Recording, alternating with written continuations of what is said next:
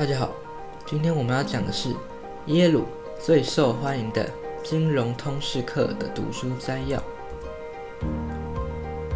耶鲁金融学终身教授，全球十大华人经济学家，浓缩二十余年研究及常春藤名校授课精华。古时候会卖妻卖女，为何不把丈夫卖了？房价贵到不吃不喝也买不起。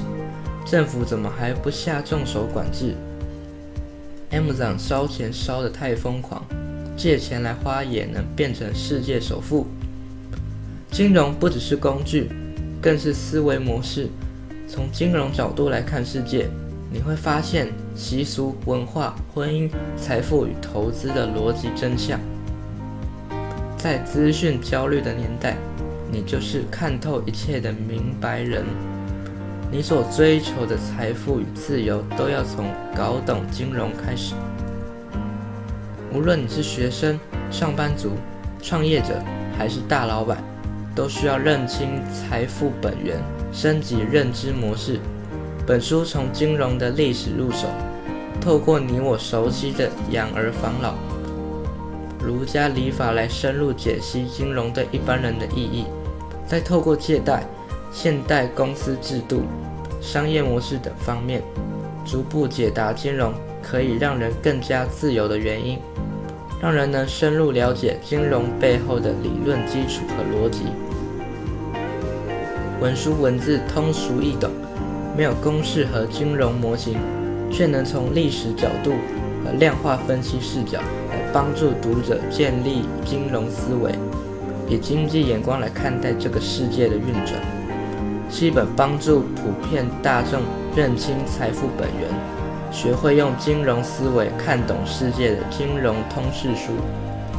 关于传统，你以为儒家强调父慈子孝、兄友弟恭、夫义妇顺，是希望人人只要遵循三纲五常，就能创造老有所养、幼有所依的太平社会？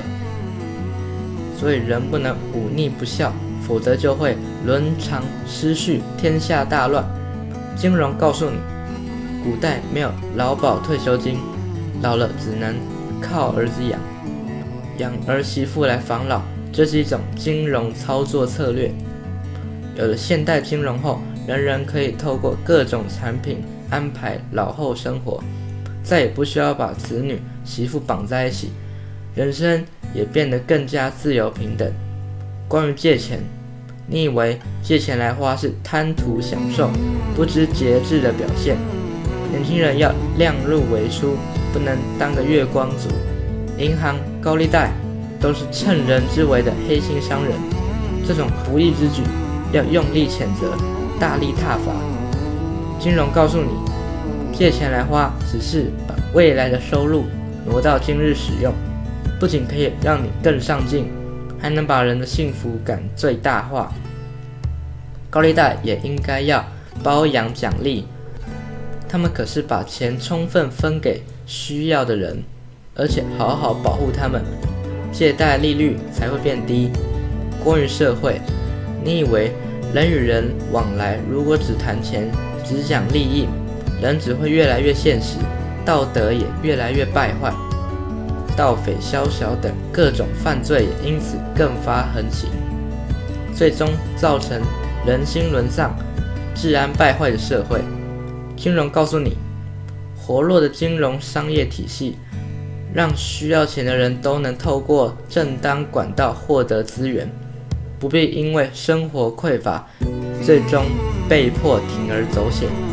金融越发达的社会，治安反而越好。法制也更健全。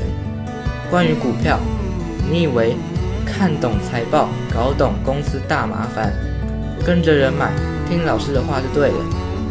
越多人买会越涨，人多的地方才安全。金融告诉你，凑热闹往往只会血本无归。热门股大多都是炒出来的，价格往往非常离谱，在疯狂的高价位买入，不亏才是怪事。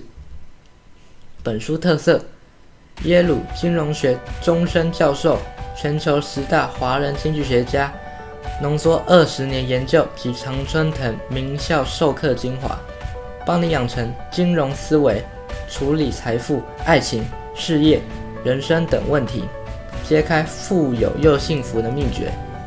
金融就是你我的生活，不只是数钞票、炒股票的金钱游戏，更是人生中最寻常的点点滴滴。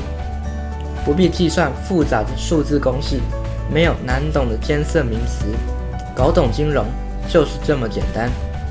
作者介绍：作者简介，陈志武，美国耶鲁大学金融学终身教授，荣获莫顿米勒奖。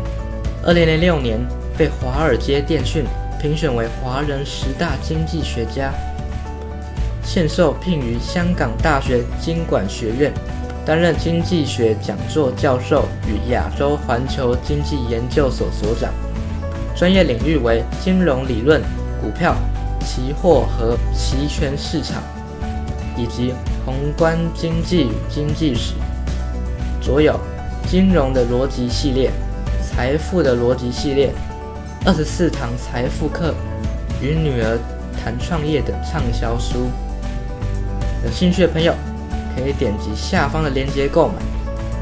欢迎按赞、订阅、分享并开启小铃铛。拜拜。